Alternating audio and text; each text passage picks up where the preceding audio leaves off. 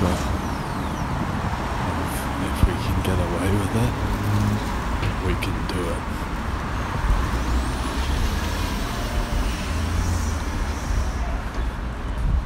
I should have come to his office. Get in trouble for stuff he didn't do.